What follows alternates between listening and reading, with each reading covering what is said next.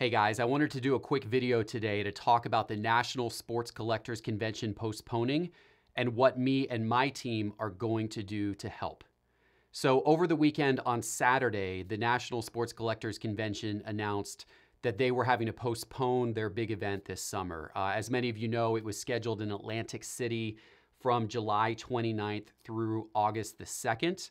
Now, they announced that they are still going to attempt to do the national this year, but they are pushing it back till December. They are now going to still try to do it in Atlantic City from December the 12th through December the 16th, but they're not going to be able to confirm that until we get closer to the end of the year to see if it's safe to be able to travel and host events in Atlantic City then.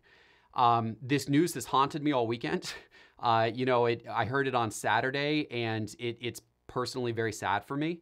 Uh, but at the same time, I also it wasn't a surprise. I the national honestly they had no choice. Um, you know the convention center in Atlantic City that the event's being done at is actually currently being used as a hospital for COVID patients.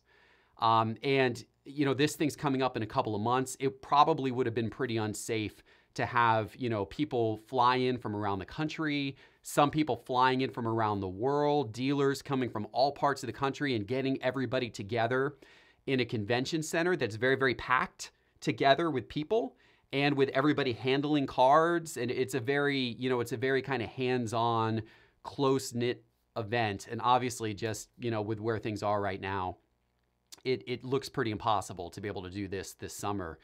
Hopefully, it's possible to do it in December. Uh, I really, really hope it's possible to do it in December, but, you know, we'll see. Um, when I heard this news, I, I, as I said, I got I got really sad. There's there's three things that really personally affected me about this. Um, first of all, I was I felt I felt sad for you, the viewers and the fans of this show, uh, and me, because the national this year was really going to be a chance for us to get together and for us to interact and for you to interact with other people who who watch this show. Um, I had been planning to do some big events at the National. I was going to do some mixers. I was going to do a party. Um, I, it was going to be a lot of fun. It was all going to be for folks who watch the show and support the show. And I was so looking forward to meeting so many of you out there. Um, and it's really disappointing that I won't have that opportunity this year, or at least maybe until December, to get together with you and shake your hand. Um, and even beyond those people watching the show, I'm also just sad for the sports card community in general. You know, this is a, we have such momentum in the hobby, and it's been such a good year this last year for the hobby that I was so looking forward to the National this year as being another record breaking year, just like last year's was. And, and just seeing the interest and the people coming from all over the world to buy sports cards. I was just, that energy, I was really, really excited for that energy. Uh, I went to the National last year and it was awesome. And I thought that this year's was going to be even better, and it would have been even better had uh, had COVID not not hit. Um, and then the third thing is I am really bummed out for the dealers and the breakers and the exhibitors, everybody who was going to to be part of this because that's a big source of revenue for these dealers. A lot of dealers, this is their big event of the year.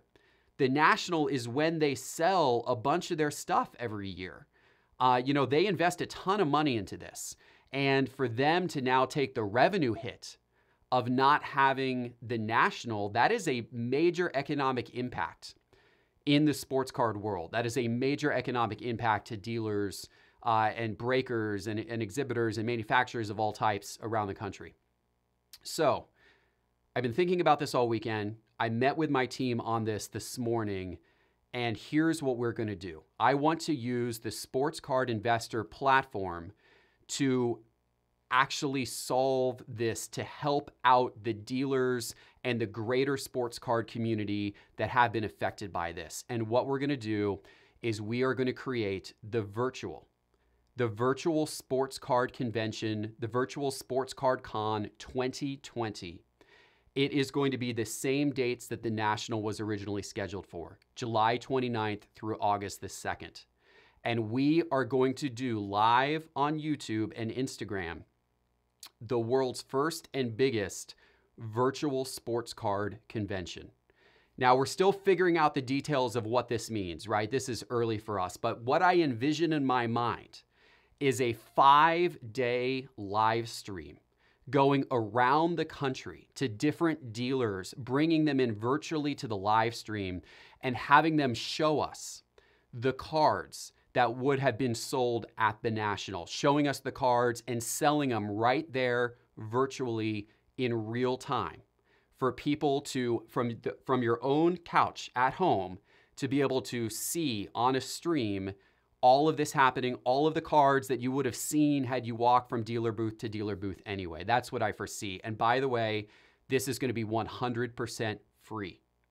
100% free for you to attend and 100% free for the dealers to come onto the stream and to sell their products on the stream. This is something that my team and I at Sports Card Investor want to do to help the card community that is being affected by the fact that there's not going to be a national this year. We want to open up our community, we want to open up our channels, and we want to volunteer our time to put together the world's biggest virtual sports card convention and hopefully to be able to find a way to replace the revenue that the dealers and the breakers and the other exhibitors would have gotten from the national so they don't feel the business impact and also hopefully to build the sports card community and to bring all of you together for us to still do those meetups, but to do it in a virtual way.